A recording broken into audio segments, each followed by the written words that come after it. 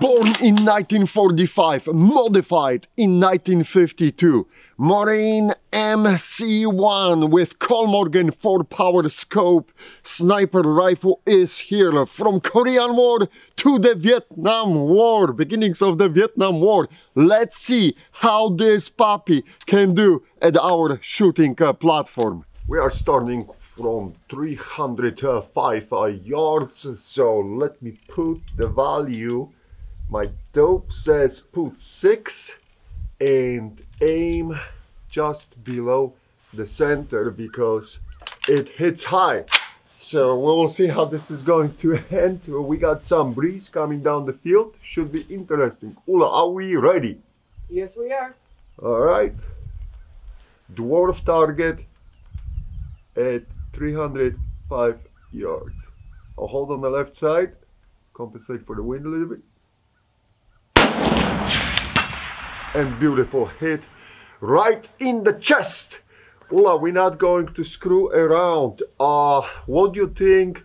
We should go probably, we should probably go to the 377 yards. That's that last small target, small target, dwarf target, midget target.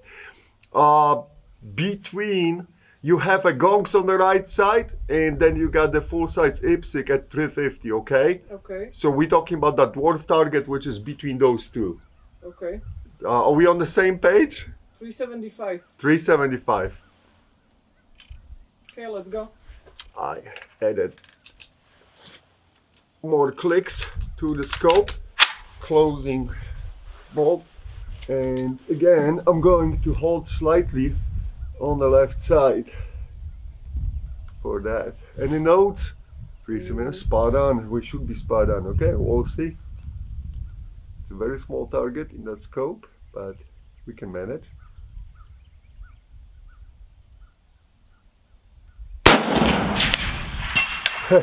I think I got him on the right arm.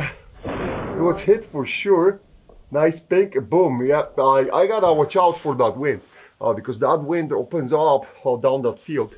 But hit is a hit, and that's a very good hit. Very small target, guys. These are small targets uh, like that. So uh, it's it's. I'm really impressed with that rifle and uh, the that we can knock out those targets. But enough with the bullshit talk. at 400 yards, 400 yards. We're going to bump up. One more click to the turret. And as soon as Zula is ready, I'm going to prepare the round to into the chamber. I'm holding it, holding it. So far, uh, yeah, I see wind is picking up, guys. Okay, let's go. I see the wind is picking up, and this is this is and you see how we drifted. The problem is the wind comes and goes. So it's not steady wind, but I'm going to increase that hold now. Push more left.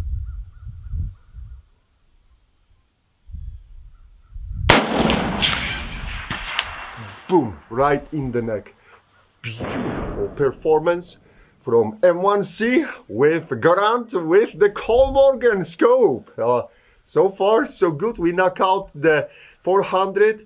Ola, I think we have to go to the 450, but let's try that prone target. You know what I'm Okay. talking about? Yeah, I know. That sneaky little prone target.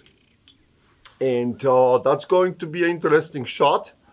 I hope I can pull this off. The wind holdover was perfect. Uh, that was a good call to push it more to the left. For Okay, the, let's try. all right, so this is what I'm trying to do here as well. And we'll see what's going to happen, right? All right, so this is this is very tricky target. You're low and very narrow. Not much real estate.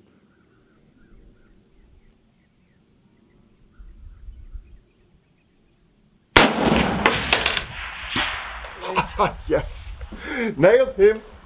All right, let me see. That was a tough shot, guys. Again, we are in the neck area. So uh, I'm eliminating all the habits that works. They got a choking problem. all right, too much fun. I'm having too much fun. Uh, Ula will go to 500, but uh, this time let's switch to the big target, 508. Okay. All right, and I gotta put some clicks on the scope. And uh, the reason why I'm switching to the bigger target is because it's uh, the the steady lines in the reticle are rather thick, so it's starting to cover more and more real estate for me on that target. It will be rather hard to take that shot. I'm not saying it's impossible, but uh, I don't wanna. Uh, yeah, that's like completely almost covered. The, Okay. the that little target was it's disappearing. Great scope. They could get away a little bit uh, with not get away, but it would be better if that reticle was with thinner lines. But it is what it is. Okay. I am going to hold again on that favor that left side strongly because of what's happening. Well, we good? Yep. Let's go.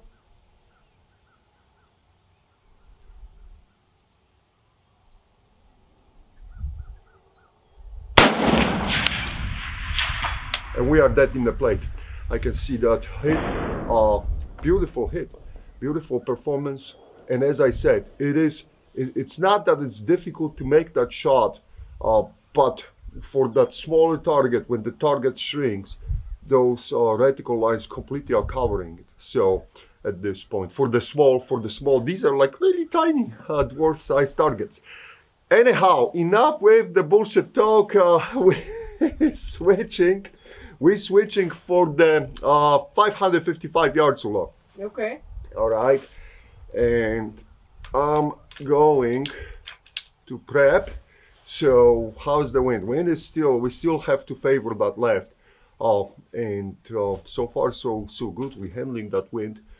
I'm tackling it. Uh, wind is always the the X factor, right? Uh, it's a equalizer. But uh, hey, we are we are putting up the good fight, and it's going nicely. My dope says 15.5. I cannot make point five MOA on that scope. I think I'm going to dial 16 and hold in the middle. We'll see what's going to happen.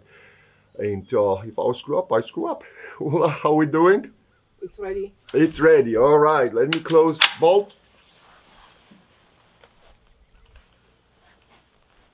Good grip on the rifle. Watch out for the wind. Pushing to the left.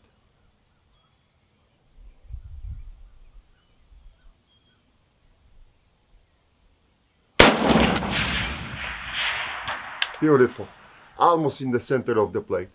So as you can see, if you will execute, you cannot complain. This old Garand is just keep keeps hammering uh, whatever uh, target you're throwing at it. Ula, I'm not going to celebrate. Uh, let's go for the 610 yards exactly. And the dope on it should be 18. 18 on my turret. And we are going to uh, attempt to whack that uh, 600 it's exactly 610 yards uh, i always round up you know i say 600 but it's 610 yards target so we'll see how this is going to end up by the way that was a good call to bump up uh, to the full value click uh, round up up and uh, I, I thought we end up very nicely on that 555 yards uh, plate so how we doing Kula? I'm ready. All right, she's ready. And let's see again. Watch out for the wind because we drifted to the right side, so increase the wind. Hold over. Steady.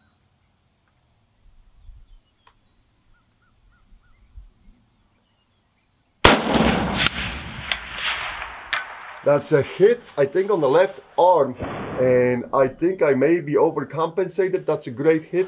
I'll take that. Uh, guys, playing with the wind, the wind conditions are changing. Still awesome, awesome hit. Ola, we're going to march, march to the 652 uh, yards, okay? Okay. for the 652 yards, my dope card says 20 point, almost 20.5. I'm going to dial 21. Screw it. We are high rolling. and and that wind probably that wind holdover was too much. I was outside the plate uh, on the left side and and but to be honest with you the wind is also kind of dying out guys. So uh, but I'm still going to push left. It, we got it's better to have that room to drift right on that plate. And we'll see what's going to happen right?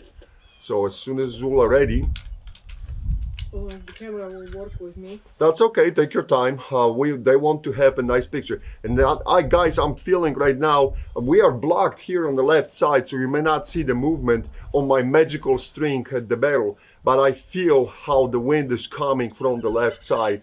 And uh, you see even the, the netting the camel netting is moving. Now uh, we, we are getting a, a, a basically a gust and I hate that. I hate when this happening uh, because it's I rather have a nice nice wind blowing than coming and going coming and going You Uh, all right, she's ready because this throws basically a monkey wrench to the wind holdovers.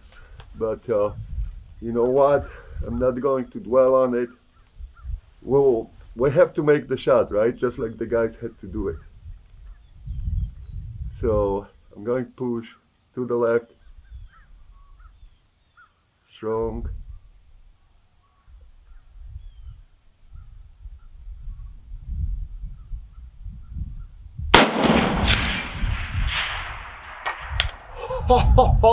it took a moment, I wasn't sure, and boom, that sound traveled back to us. And what a beautiful, what a beautiful hit and the holdover. Uh, windage twice, we are almost dead in the center, and elevation wise, that was a good call to bump it up to 21 uh, as well.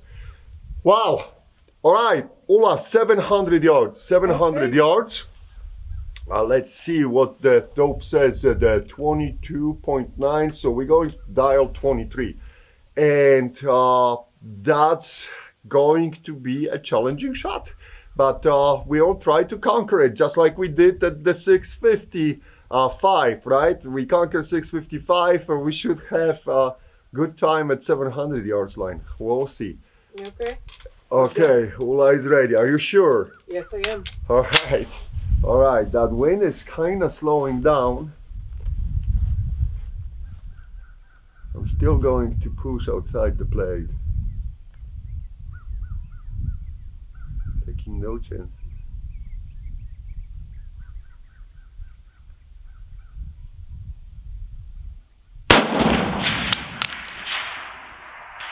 Oh, I think uh, there is. I see the splash on the left side, yes.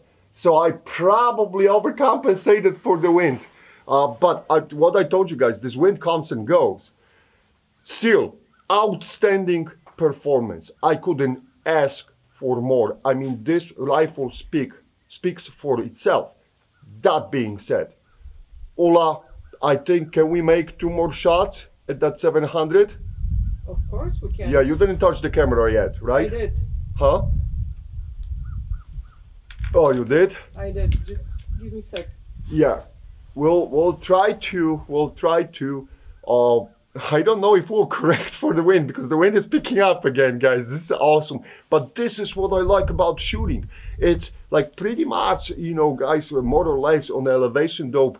We all we all can, you know, work it out, right? Uh, we we are smart dudes. But okay, uh, be- beating the wind, this is always a fun, and uh, that's what makes the shooting so awesome. All right, you know what? I'm going. I'm not going to hold that much now on the left side. We'll see if the gods of wind are going to punish me or not for it.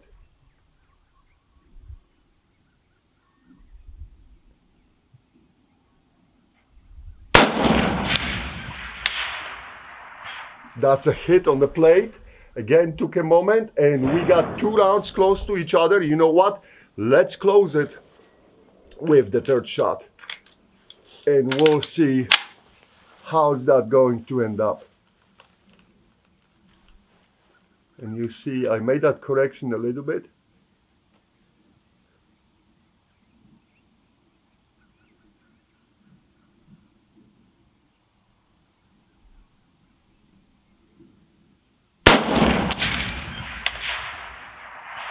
And it's a hit. And boom, we have a nice group. Now, to discuss this all going back to the studio. So Rifle did very, very well on our battle course, but let's see if we can conquer Know Your Limits at plus 360 yards. Let's roll the footage. Nice shot. All right. One, one down.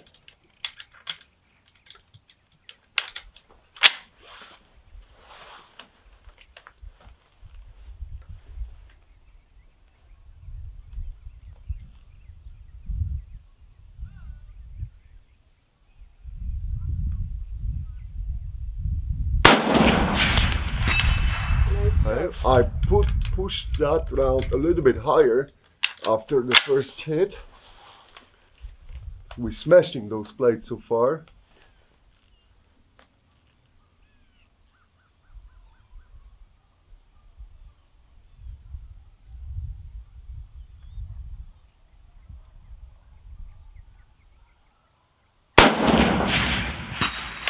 Beautiful. Three down two left to go, which the last plate is absolutely insane. I don't know if we'll knock it out. At three, out.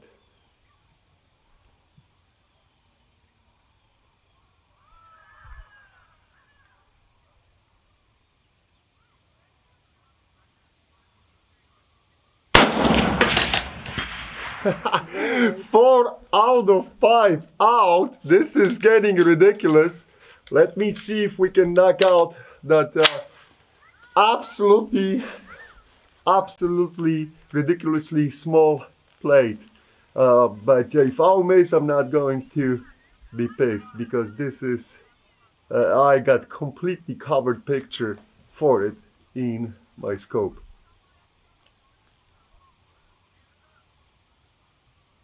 So I'm just guessing where the plate is.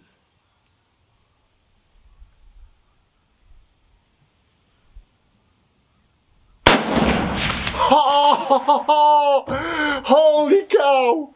Let me see it. Oh my gosh, guys, unbelievable. Alright, honestly, guys, jaw dropping. As I said, that last target was absolutely almost impossible to see because of the thickness of the reticle in the scope. And uh, I don't know, have you seen it on the footage? But I skimmed that top top of that little plate and hit the orange thing behind it. It would be still a hit. It was a good hit, but like on the plate was just the skim on the top. Uh, so I uh, did the wind correction and I aimed, a little bit higher without realizing it because that reticle is uh, thick in that Kollmorgen scope. But that was done on purpose so you can fish out those targets easily uh, in the field. For the combat type of the shooting, this was a good solution at that time. Now we have a much better technology to do the reticles differently and you can see that very often uh, even I think we started doing this in like uh, early 70s past 80s when you have the bottom portion of the reticle really thick so it's easy to navigate and then inside the reticle you got a very fine print uh, on the reticle etching done that way and uh, you can you know put it the fine crosshair on the target or a dot whatever the the scope maker uh, was doing. But at that time you have to um, understand we're talking about the early 50s uh, that technology was not there and most of the reticles were just pieces of wire locked uh, inside the tube uh, the etching wasn't that popular yet and wasn't was it was just developing let's put it that way right uh, for the widespread. Uh, but going back to the scope to this uh, setup so in the early 50s the marine corps quickly realized that they want to have a different solution than what was on the m1c that uh, like a drinking straw scope was really not that great. I think we uh, agreed that the magnification was like 2.2 or two different sources say different things, but it is around two magnification is not really doing justice uh, to those uh, rifles. They can do much, much better when they are paired up with the better scopes. So in the early 50s, the Marine Corps knew that they have to do something, that this, this scope is just not good enough on M1Cs. And even on the M1Ds, which were becoming uh, more, more of a standard, this was still very low magnification on, on those scopes. And again, that rifle was that rifle was capable of doing more with paired up with the different uh, optic. So after the, the research, the Kollmorgen was chosen as the scope for the Marine Corps, and this was the four power scope with the nice large turrets, and the turrets are basically adjusting around one MOA at the 100 yards. Uh, probably the designation was a one inch at the 100 yards. And uh, today, this is almost perfect. This is almost still working as it was uh, designed if you will look at the scope, it is hard to not recognize that this is almost a hallmarks. It, that scope has hallmarks of later what we know as uh, the Redfield and the Redfield 3 to 9X uh, scope, which was later during, during the Vietnam War uh, era used by the US uh, military. But at that time, uh, the Kollmorgen was still the independent company and they produced that uh, 4X scope. So the Marine Corps decided to put it, and they uh, stayed with the uh, M1C mount, style mount. So you see that, that rail, uh, and uh, was still separate rail, not like the M1D, which is attaching with like a thumbnail screw uh, onto the receiver. So it was still the M1C design, just the upper portion was updated and those rings for the scope was they were enlarged because of course this is a bigger diameter of the tube than what you are seeing here. Still you got the two lever levers and there were two styles of the locking levers like the very early locking levers with uh, the rounded tips and then you had more like a uh, the counted like tra trapezoidal uh, levers and uh, both are very hard to find these days. Both are almost impossible. Uh, the scopes, they are still there. The mounts, not so much. Uh, there's tons of reproductions. I don't want to say fake, or, but the reproductions. And uh, but this is I was lucky enough to get the original mount and uh, the original scope. And uh, the only difference, the only not difference, but the only problem I had with that mount, what you see, I got the rubber bands because from the recoil, those levers have a tendency to walk down. But this is what what's happening on my classic M1C as well. So you just gotta watch out for those levers, and that's probably was one of the shortcomings of that mount. And uh, maybe that that that was some deciding factor that the M1D solution was uh, more secure. But even on M1Ds, you have to watch out for that thumbnail screw until that screw likes to walk out.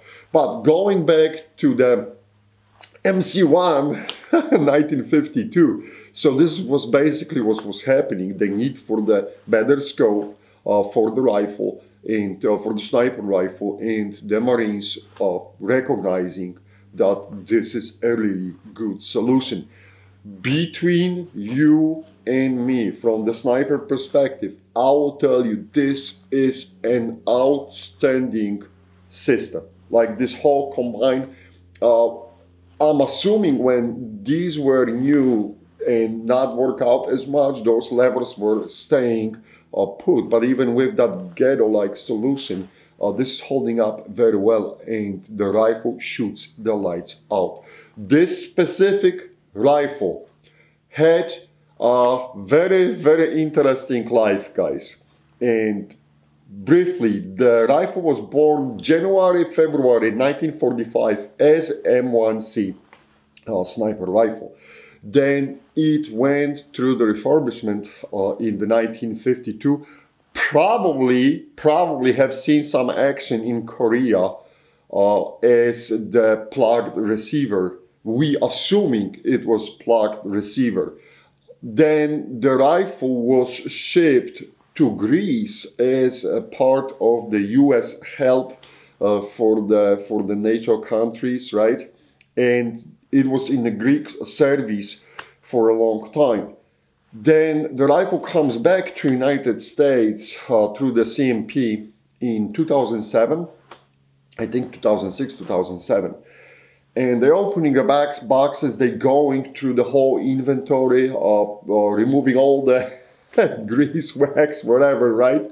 From the boxes, and uh, they realizing that the rifle is marked on a receiver SA52. That means we went through the refurbishment uh, at the Springfield Armory. That's what we assuming always, right?